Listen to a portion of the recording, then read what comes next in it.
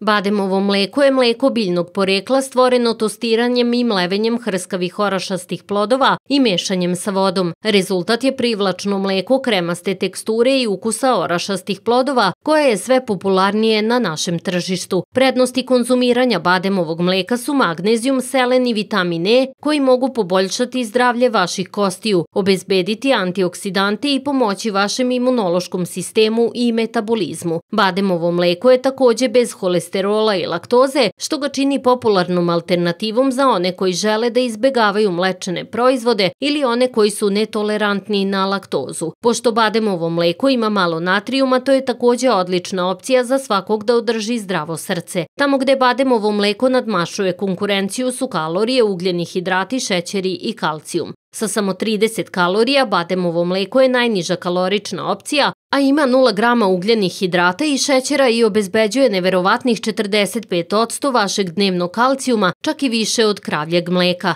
Nedostaci su što u poređenju sa sojnim i kravljim mlekom bademovo mleko ima veoma malo proteina. Kravlje mleko je najpopularnije od svih vrsta mleka, proizvedeno u mlečnim žlezdama krava. Varijante su mu punomasno mleko, mleko sa smanjenim procentom masti i obrano mleko. Prednosti korišćenja su što je ovo mleko bogato proteinima i kompletan protein, što znači da ima sve esencijalne aminokiseline koje su telu potrebne da sintetiše proteine. Kalcijum koji obezbeđuje 29% dnevnog preporučenog unosa i vitamin B12, vitamin koji se prirodno može naći samo u životinskim proizvodima. Ovaj vitamin je ključan za funkciju našeg mozga i nervnog sistema, kao i za dovođenje gvožđa u naš krvotok kako bi pomogao u formiranju novih krvnih zrnaca. Mleko je za jake kosti i mišiće, a reklamiraju ga i kao pomoć u borbi protiv karijesa. Pošto je po prirodi alkalna tečnost, smanjuje kiselost u našim ustima. Ovo pomaže u borbi protiv formiranja plaka, smanjuje rizik od karijesa i sprečava propadanje zuba.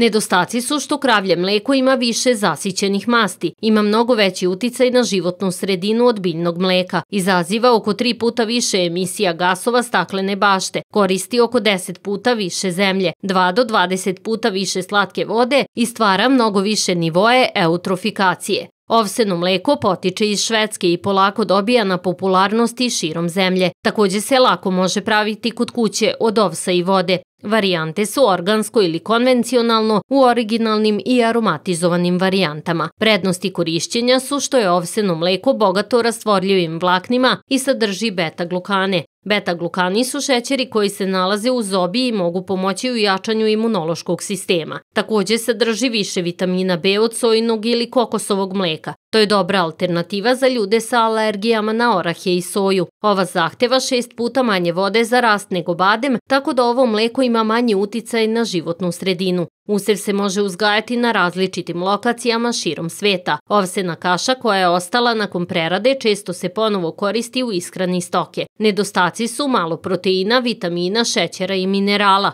Ovseno mleko takođe sadrži više masti od drugih alternativa mleka. Ima upola manje proteina i duplo više ugljenih hidrata od kravljeg mleka i može biti skupo.